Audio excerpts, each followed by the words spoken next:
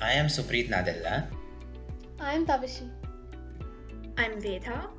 And I'm Vishesh. Hey guys, I came across an article about Rosalind Franklin. Ever heard about her?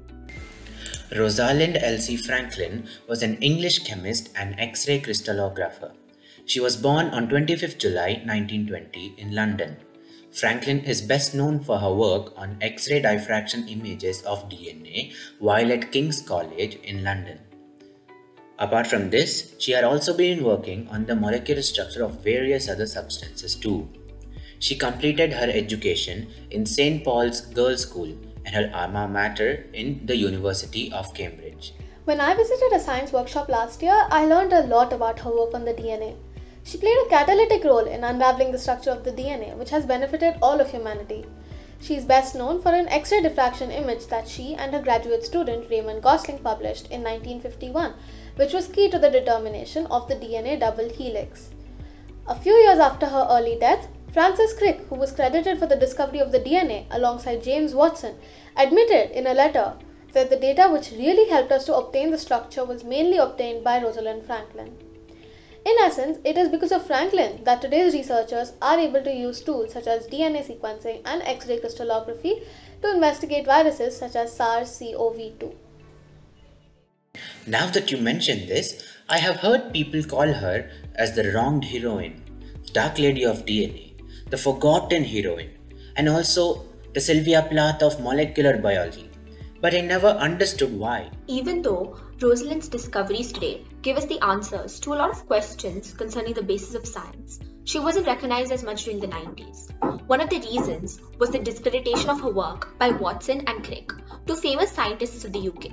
Initially, both Watson and Crick had come up with an alternative DNA structure which was stamped inconsistent by journals.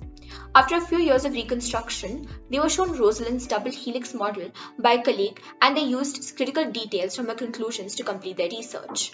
After their research was published, they received a lot of recognition and a Nobel Prize in 1962.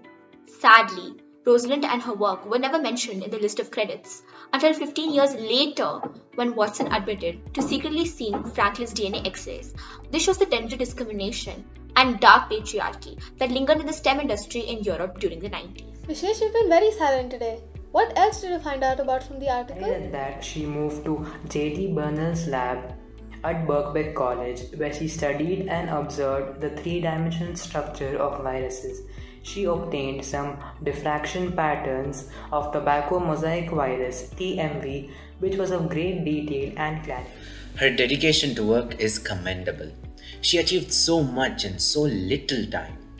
But that isn't all. From the article I read, she worked on RNA too, right?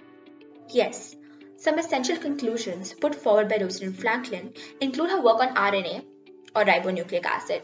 From 1953 to 1958, Franklin worked in the crystallography laboratory in London, where she completed her work on coals and on DNA, and began her project on the molecular structure of the tobacco mosaic virus, like you mentioned before. Through the study, she was able to prove that RNA in the virus is found embedded in the protein rather than the central cavity, and is a single strand helix compared to DNA, which is a double helix. Wow, this is brilliant! She must have received many awards and a lot of recognition for her work.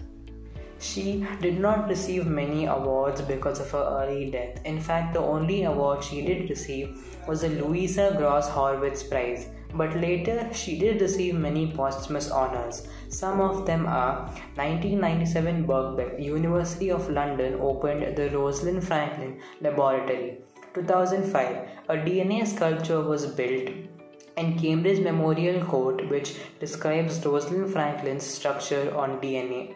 2008, Institute of Physics came up with a biennial award, namely the Rosalind Franklin Medal and Prize.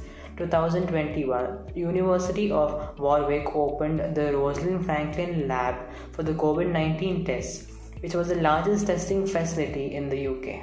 This has been really interesting. Her story is so fascinating. This conversation has inspired me to read about more scientists like her.